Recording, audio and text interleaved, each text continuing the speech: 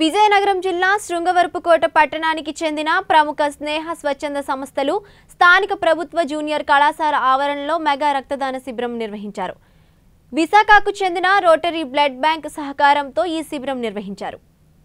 ఈ సందర్భంగా స్వచ్ఛంద సంస్థ అధ్యక్షులు వెంకటరావు మాట్లాడుతూ ప్రస్తుత కోవిడ్ కాలంలో ప్రతి బ్లడ్ బ్యాంకులలో రక్త నిల్వలు లేక రోగులు అనేక ఇబ్బందులు పాలవుతున్న దృష్ట్యా ఈ శిబిరం నిర్వహించి తమ వంతు సాయంగా రక్తాన్ని అందించాలనే సదుద్దేశంతో ఈ శిబిరం నిర్వహిస్తున్నామని తెలిపారు. సుమారు డెబ్బై నుండి వంద యూనిట్ల వరకు రక్తాన్ని సేకరిస్తామని అన్నారు.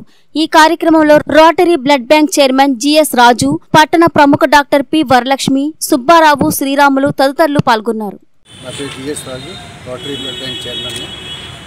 ఈ కోవిడ్ సమయంలో బ్లడ్ రిక్వైర్మెంట్ అయితే చాలా ఉంది. మేము అన్ని రకాలుగా ప్రయత్నాలు చేస్తాం. అన్ని గతంలో ఇచ్చిన వాళ్ళకి అందరికీ రిక్వెస్ట్ చేస్తూ ఉన్నాం. కొంతమంది రెస్పాండ్ అయ్యారు కొంతమంది అవ్వలేదు. ఆ సమయంలో మన మన స్నేహ స్వచ్ఛంద సేవా సంస్థ మన ప్రెసిడెంట్ గారు శ్రీ సుబ్బారావు గారు ముందుకు వచ్చి ఇలా చేయడం చాలా ఆనందంగా ఉంది. ఎందుకంటే రోడ్ యాక్సిడెంట్స్ ఒకటి బాగా పెరిగిపోయినాయి. ట్రాఫిక్ మామూలుగా తిరిగేస్తారు అందరూ. అలాగే ఆపరేషన్స్ మా దగ్గర జరుగుతున్నాయి. అలాగే ఎనీమియా పేషెంట్స్కి కల్సేమియా పేషెంట్స్కి బ్లడ్ రిక్వైర్మెంట్ అయితే చాలా ఉంది. కానీ దానికి అందు నాకు బ్లడ్ అందుబాటులో లేకపోవడం వల్ల మేము చాలామందికి హెల్ప్ చేయలేకపోతున్నాం. సో మన స్నేహ సత్యన్ సంస్థ వారు ఇలా ముందుకు వచ్చి చేయడం అనేది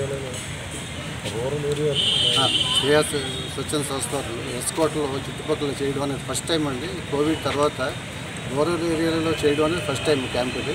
సో వారిని ప్రత్యేకంగా అభినందిస్తాను. అందరికీ నమస్కారం. ఇక్కడ ఎస్కోట్లో ఉంటున్నాము. యాజ్ ఏ డాక్టర్ అందరికీ అంటే ఇప్పుడు బ్లడ్ ఎంత డెఫిషియన్సీ ఉందో అంటే మాకు తెలుస్తున్నది. ఈ సంవత్సరం మేము చేసిన స్నేహ స్వతంత్ర సంస్థ చేసింది ఏంటంటే ఊరూరా వెళ్ళి కూడా బ్లడ్ డొనేషన్ అవేర్నెస్ క్యాంప్స్ చేశాము. దానివల్ల కూడా మొన్న మొన్న మామిడిపల్లిలో కూడా చేశాము. దానికి కూడా స్పందన బాగా వచ్చింది. ఎన్ఎస్ఎస్ వాళ్ళు కూడా ఈసారి వచ్చి డొనేషన్ ఇస్తున్నారు. సో అయినా ఒక వంద యూనిట్లైనా వస్తాయని అనుకుంటున్నాము. బ్లడ్ డొనేట్ నా యొక్క ప్రతినిధి